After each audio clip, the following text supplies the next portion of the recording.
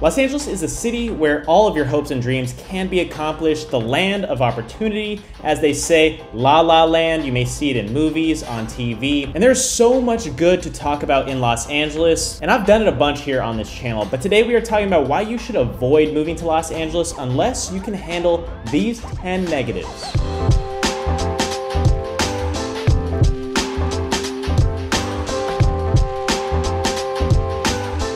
What's going on, you guys? My name is Darren Kriz. I'm a local real estate agent and native Angelino. I help people every single day buy, sell, and invest in property here in the greater Los Angeles County. If this is your first time on my channel, I post weekly videos of all things Los Angeles. I talk about the cities, I do some driving tours. I really cover it all in every specific individual area here in Los Angeles. If you have any questions, reach out to me in the description. There's my contact information. But today in this video, we're doing something a little bit different. I am talking about some of the negatives, some of the reasons to avoid Los Angeles, and I bet you think that there are quite a few. So we're just gonna get right into this one. Also, these aren't in any specific order. We're just gonna list 10 bullet points and cover each of them. But the first one here is the people. So a lot of people in Los Angeles seem to be ego driven. They think highly of themselves. They'll put themselves above a lot of other people. Maybe they'll talk down to you. Maybe they'll treat the waiter bad because they are just in it for themselves. They want more money, more power, which is a lot of the reason why several people will move to Los Angeles. They think they see a lot of people of wealth, a lot of people of fame,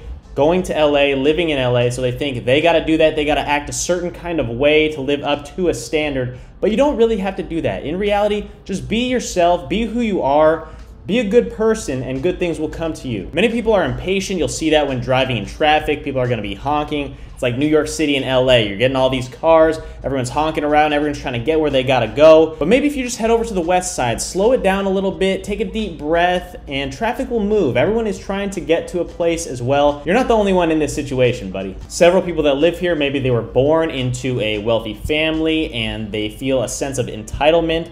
So they feel like they should get everything handed to them. They feel like whatever they want should be done immediately. They want that instant gratification. They want things quick. They'll get angry, they'll get jealous, but you will get those people in other areas as well. LA, you will just see it a little bit more because there is just a much bigger population here. If you find yourself in different friend groups, in different specific events to where people really need to have money, power, and fame to show off at those certain events, then of course you're gonna find ego driven, power hungry people. But if you want people just like you, I'm sure you can find it in other aspects in Los Angeles because it is so big. But let's move on to the next one here. And the next one is overpopulation. So in Los Angeles, there's about 4 million people, which is a giant number. When you think about it, that's more than the amount of people in a few states. And even though Los Angeles is huge, there are so many people, there still aren't enough freeways to manage all of these people, all of this traffic, because everyone has their own car, everyone, and everything is so spaced out. So everyone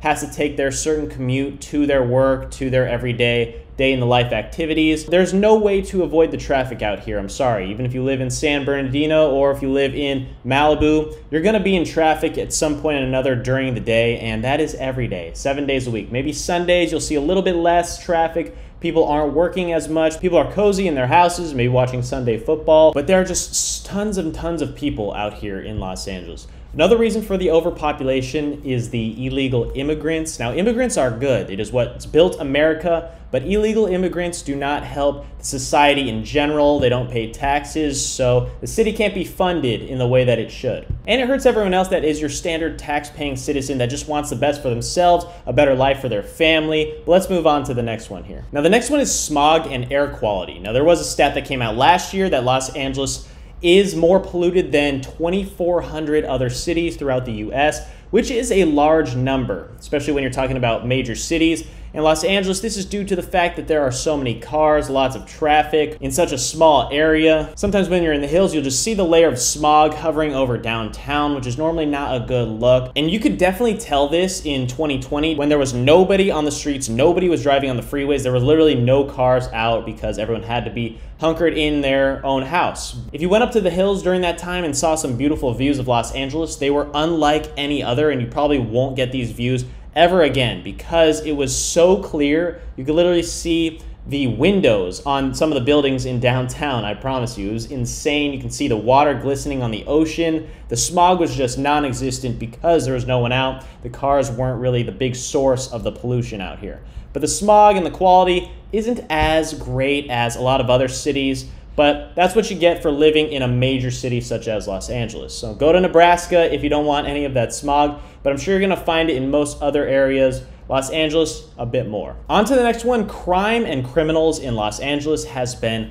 skyrocketing over the past couple of years. In Los Angeles County alone, there have been 206 homicides in 2022, which is up nearly 30% from 2020. 779 shooting victims, which is up 43% since 2020. The crime rates have not been too well out here since the start of early 2020. But hopefully, as time goes on, these will be addressed. If you guys have done any research on Beverly Hills, I'm sure you've seen that there has been a little higher percentage of crime there as well, which is true, but they are doing the Beverly Hills Police Department, City Council, they're doing their best job every single day to make sure that there are, if you're just roaming the streets of Beverly Hills, you're going to see more security, you're going to see more cameras. They're doing what they can to make sure it is the Beverly Hills that it used to be. But just come out to LA if you guys ever have any questions because they can be answered with just a quick visit or check out some of my driving tours if you can't check out LA in person because that might show you what it would be like to drive in LA. It's not everything that what the media tells you. It does seem like a lot of people are a little more scared these days than they were a few years back, but Los Angeles will always be Los Angeles, will always have this nice weather. It'll always be the place to be, and people are still moving here every single day. That's why people are reaching out to me down below in the description to figure out what the best area to move is, what's safe these days, and what's not. But let's go on to the next one. So Los Angeles is experiencing a homeless problem as well, up about 4% from 2020, which isn't too high of an increase, but you are seeing it in some different places. You'll see it pile up in certain neighborhoods of Hollywood. In downtown specifically, there's more homeless. Skid Row having the largest concentration of homeless population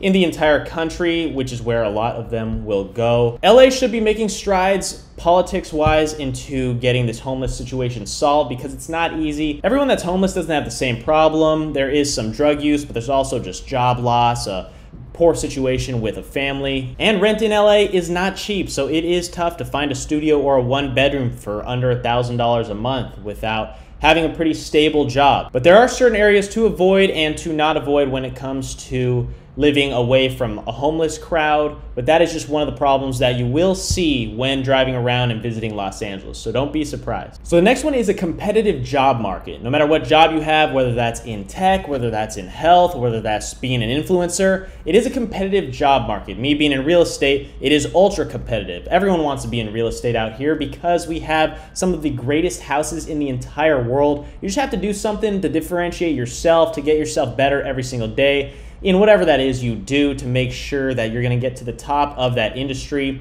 And competition is good. Without competition, you're just going to be a part of the average. If you want to be the best at your job in a smaller city, you can easily do that. Los Angeles is the headquarters for many different corporations, many different tech industries, tech companies as well. And so they are hiring at a higher salary than maybe another office job in Texas would be. So that's also another reason the competitiveness is high, but also the salaries are a little bit higher. But why would you want to live in a small city where it's easy to get a job for a lower wage? You got to go and compete. You only get one life. You have to figure out what that is you want to do and just be the best at your job. Because if you're going to move to Los Angeles in the first place, you're not going to do it because you're an easygoing person that just wants to coast by and have well i guess you can. If you want to coast by have nice weather you can move out to venice try to find a cheap place. Well you're not going to find a cheap uh, place out there.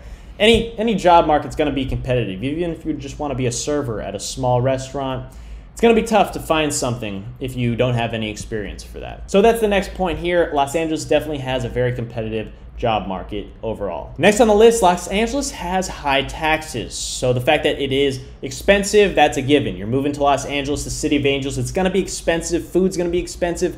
Gas, rent, buying a house is not cheap. The total sales tax in 2022 is 9.5% here in Los Angeles. And don't forget, income tax is going to be about 40% or so, depending on what you're doing. Make sure you save your money for taxes because the IRS will be on you. You gotta at least put half of your money away but like I said, if you're going to move to Los Angeles and find a nice job, you're going to probably, hopefully, make more money than you would in a smaller state, a smaller city. So that extra money needs to be put away toward taxes. It does come with a fee to live here. Number nine on the list is natural disasters. Now, this is honestly, in my opinion, not a huge concern, but a lot of clients come at me and always ask me about these natural disasters, whether that is earthquakes, you have the San Andreas Fault, so you're always going to hear about earthquakes in Los Angeles. And there are wildfires too that you'll hear about on the news, wiping out cities completely here in Los Angeles. Well, honestly, that doesn't have it happens like once every five years or so. There was a big one in Malibu, there's a big one in the valley. Every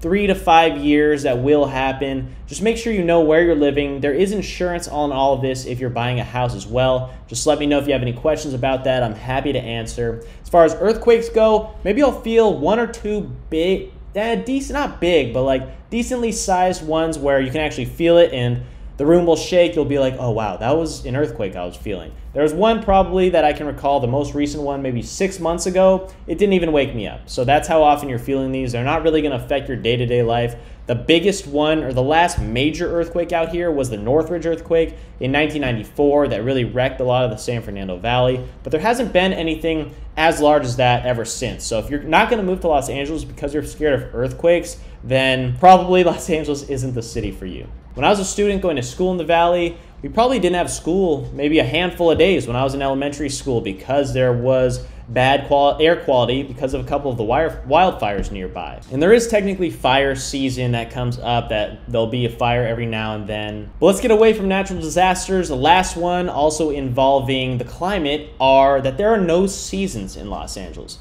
Now, for myself, growing up as a native Angelino, I never got to experience a white winter. It was it would never snow. It can't snow in Los Angeles. Well, maybe we'll see some some hail when it gets to be 40 degrees. Well, I guess it has to be 30-ish degrees. You'll get some hail on your car in the mornings if it is raining.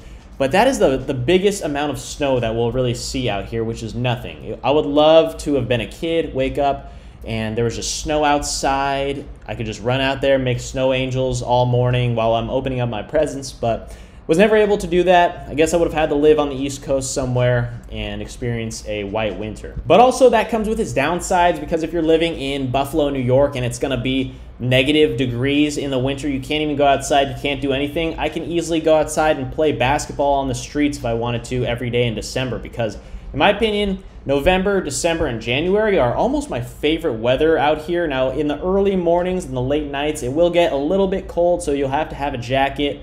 But during the day, it is just at a perfect temperature where you can just walk around, wear whatever you want, and just live the Los Angeles weather all year round. You can do this. So, of course, Los Angeles comes with its pros and cons, its perks, its downfalls. But I hope you guys got a little bit better of a sense of what you should learn to avoid if you are thinking about moving to Los Angeles. Those are definitely 10 negatives that you might have heard before, but I just want to break it down a little more so you can expect to think about these things when you're moving out here. So some some of these don't shock you when you're driving around the streets of LA, maybe if you come for a visit. But also if you come for a visit, hit me up down in the description. If you're thinking about moving to Los Angeles, my team and I are happy to help people every single day buy, sell, and invest in property out here. If you learned anything at all, hit the like button. I really appreciate it. Also subscribe for more informational videos on all things Los Angeles. And I'll see you guys in the next one. Peace.